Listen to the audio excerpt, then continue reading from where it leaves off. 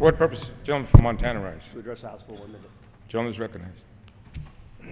Thousands of Montanans are joining millions of Americans speaking out. I've heard from them at seven listening sessions across Montana just last week.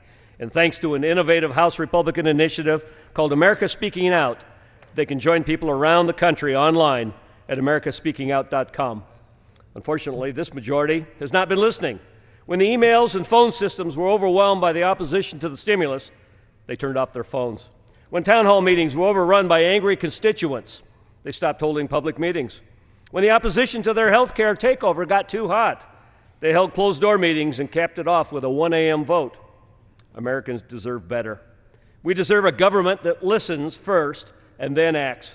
We deserve a government that remembers who it works for. That's what I'm doing in Montana, and that's what House Republicans are doing online. Please join me today by logging on at americaspeakingout.com. Together, we will make a difference.